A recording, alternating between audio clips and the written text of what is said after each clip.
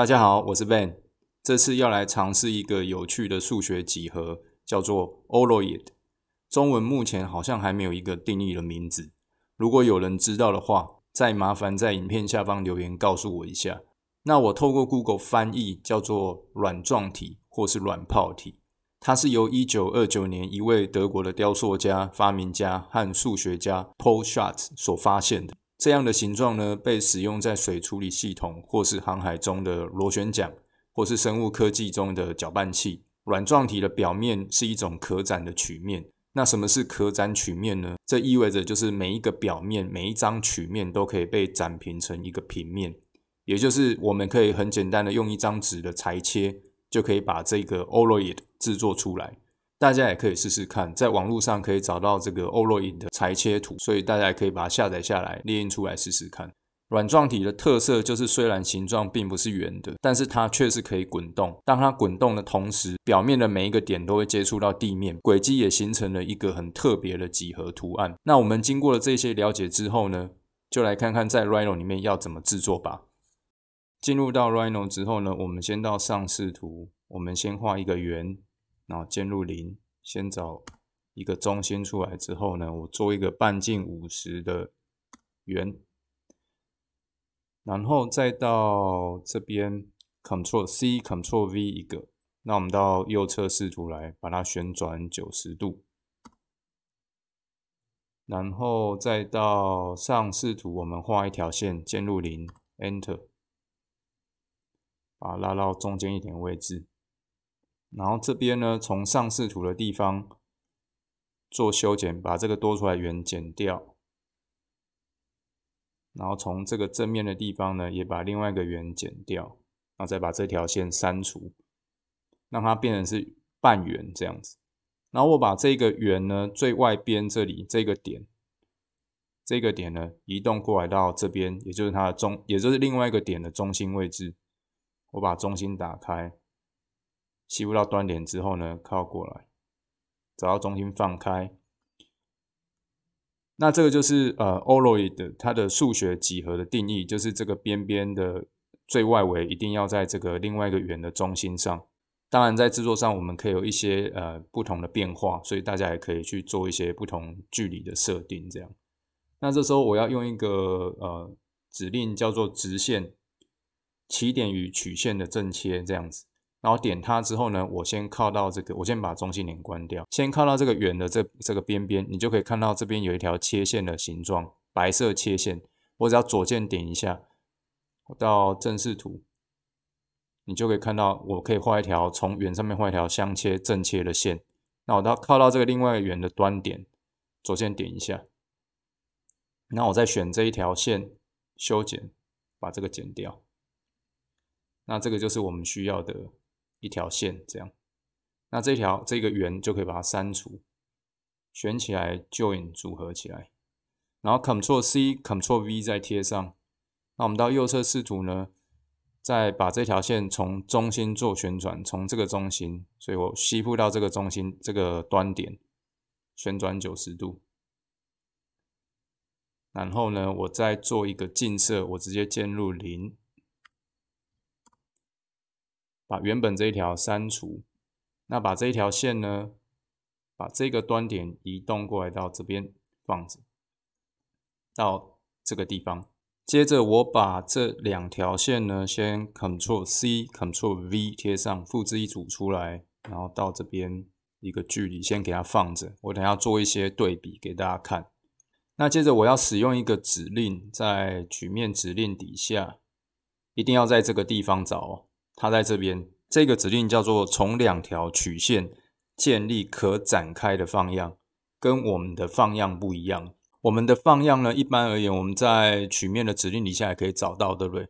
但是呢，这一个呢，我们简称叫做 Def Loft，D E F L O F T，没有办法在功能列上找到这样。所以我点选它之后，我点选两条我要做放样的线段，一、二，它就可以长出来。甚至也不需要按到右键这样。另外一个，我在做一般的 loft 给大家看。二右键，OK。我们从右侧视图看一下。我们可以看到这个 def loft 它做出来它的边界线是平的，那 loft 一般的 loft 做出来这个方样它是一个曲面在这边，那这个等于是说这个就变成是一个负曲面，它就不是一个可以被展开的曲面。那这一个呢，这个 developed 做出来的呢，它就是可以被我们绘制在一般的纸张上一个平面，它也可以被展开。所以这个就是这两个不一样的放样的差异的地方，一个是 developed，一个是 loft。所以请大家要记住这两个放样不一样的地方。那我先把这个关掉，那我先把这个删除。我们回到这个地方。再来这个步骤就比较简单了，因为我们只要一直做近摄就可以了。那我们这个地方，这个是 x 轴，我可以点选 x 轴，我选它，我到测正视图，再用近摄，我直接键入零，往 x 轴方向拉，这样的近摄也可以。那基本上我们这个 Oroid 的几何我们就绘制完成了。虽然我们这样就绘制完成了，不过在这个边缘的地方都还是呃锐角。那我会在这边手动做一些 R 角，把它收尾这样子。那我们就开始来制作。我先把呃线段先隐藏起来。那我会先把一半先删除，因为有顺序性的问题。因为我要先倒一边这样子，因为它这个有大概两个。一个方向，另外一个方向也要导，所以有一个顺序性这样。那我先到上视图，我在中心先绘制一条线段，我先按零，Enter，那把它移动到物件中心，这边移动一点五好了，然后我再做近摄。一边一点五，一边一点五，所以加起来是三，所以这 R 角大概是在三这样子。我用这两条线把这个 Oroy 的这一段切除，然后我再使用这个混接曲面 Blend Surface 这个，这边点一下，这边点一下，那它这个混接曲面就跑出来了嘛？那我们使用 G 二 culture 这个指令，这样子。那基本上这个因为不是很复杂，曲面我们不需要去定义截面，然后基本上这样按 OK 就可以了。我们看一下，这样 R 角就导出来了嘛？那接着呢，我们把这一个呢从右侧视图呢做一个近摄，键入零，从这个地方近射过来。那因为这个地方倒了，这个地方还没倒嘛？所以我们到正视图的地方，一样先绘制一条线段，进入零，Enter，然后往这边移一点五，然后再做近摄一点五，用这两条线把这边剪掉，